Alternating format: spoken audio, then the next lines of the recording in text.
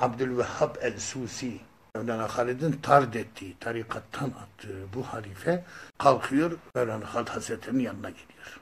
Geliyor diyor ki efendim işte ben hata yaptım, yanlış yaptım filan. Sen hata yapmadın, yanlış yapmadın. Sen muahedemizi yani sözleşmemizi çiğnedin diyor. Bu yüzden diyor bizim seninle bir alakamız kalmamıştır. Aman efendim, yaman efendim, yalvar yakar Mevlana Hazretleri diyor ki hayır diyor. Birkaç gün dolaşıyor orada. Bakıyor olacak gibi değil. Tabi o dönemin en büyük alimlerinden Şeyh Yahya el-Merzevi Hazretleri var.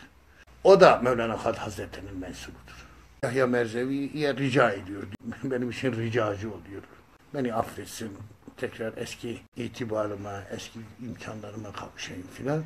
Yahya Merzevi Mevlana Halid'in yanına geliyor. Kudüs'e söylüyor. Şu kadar sene okuduğu hocalığı var. Bunu affetseniz filan. Mevlana Halid diyor ki Yahya Efendi diyor. Onu ben tard etmedim. Bütün bu silsile onu tard diyor. Bu yüzden benim ona yapacak bir şeyim yok diyor. Tekrar ısrar edince diyor bir tek yolu var diyor. Bir tek yolu var. Bir tek şey var. Eğer onu yaparsa belki bu yüce silsilene mensupları onu affederler diyor. Neden efendim diyor. Sakalını kesecek diyor. Saçını kesecek. O sarığını, kavuğunu hepsini atacak diyor. Boynuna diyor bir sepet asacak. İçine de elma koyacak diyor. Gidip şehrin sokaklarında gezecek diyor. Kim benim enseme bir tane vurursa ben ona bir elma veririm diyecek diyor. Ya, ya mezhebi onu yapmayacağını biliyor tabii. Mevlana Halide diyor ki ben onun yerine yapsam olmaz mı diyor. Yok diyor. Kendi bunu yapsa belki diyor Sadat-ı Kiram onu affeder diyor. Ya ya mezhebi dönüp geliyor diyor ki yapacak bir şey yok. Bu Abdülvahhab Susi vazgeçmiyor tabii. Ne yapayım ne edeyim kalkıyor yola çıkıyor Dehle'ye gidiyor. Mevlana Halid Hazretlerinin şeyhine gidiyor. Yani diyor şeyhine gideyim ki şeyhi ona emrederse her şeyi yeniden düzeltirim. Şah Abdullah Dehlevi'nin huzuruna oturuyor böyle. Başlıyor anlatıyor anlatıyor. Şah Abdullah ona bakıyormuş. Konuşuyor Şah Abdullah ona bakıyor böyle filan. Konuşması bitince Subhanallah diyor. Halid sende hiçbir şey bırakmamış diyor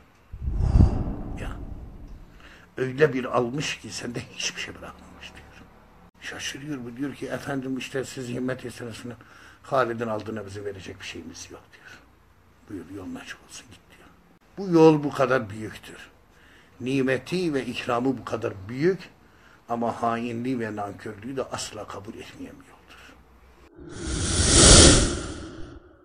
Murşid-i ووساني تجسري علماني رهبر شيخ ملاني شهاب الدين سيد طه رهبر شيخ مهلاني شهاب الدين سيد طه